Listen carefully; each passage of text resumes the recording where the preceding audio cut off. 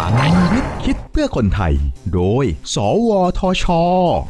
ตอนถุงหายใจได้ยืดอายุผักรักษาความสด ผักผลไม้ยังคงมีชีวิตหลังถูกเก็บเกี่ยว มีการหายใจและคายน้ำทำให้เกิดการเสื่อมสภาพและเน่าเสียของผักผลไม้นะครับ ปัญหานี้ส่งผลกระทบโดยตรงต่อคุณภาพของผักผลไม้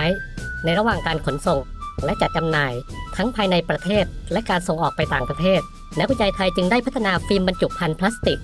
สำหรับยืดอายุและรักษาความสดของผักผลไม้ในชื่อ Active Pack ครับ นักวิจัย สวทช พัฒนาเทคโนโลยีฟิล์มบรรจุภัณฑ์พลาสติกสำหรับยืดอายุและรักษาความสดของผักผลไม้ Active Pack ตัวฟิล์มมีคุณสมบัติยอมให้ก๊าซที่ใช้ในกระบวนการหายใจของผักและผลไม้ผ่านเข้าออกได้ดีทำให้เกิดบรรยากาศดัดแปลงแบบสมดุลขึ้นในบรรจุภัณฑ์โดยมีปริมาณก๊าซออกซิเจนก๊าซคาร์บอนไดออกไซด์และความชื้นสัมพัทธ์อยู่ในระดับที่เหมาะสม จึงช่วยชะลอการเปลี่ยนแปลงทางชีวภาพของผลิตผลสดที่บรรจุอยู่ภายใน สามารถยืดอายุการเก็บรักษาผักและผลไม้สดได้นานขึ้น 2-5 เท่า โดยที่ผลิตผลสดยังคงคุณภาพและรสชาติที่ดี นอกจากนี้ฟิล์มยังมีความใสไม่เป็นฝ้า และมีความแข็งแรง เหมาะสำหรับใช้งานจริงในอุตสาหกรรม ผลงานวิจัยดี และมีประโยชน์ต่อเศรษฐกิจของประเทศ ส่งผลให้ทีมนักวิจัยได้รับรางวัลนักเทคโนโลยีดีเด่น ปีพุทธศักราช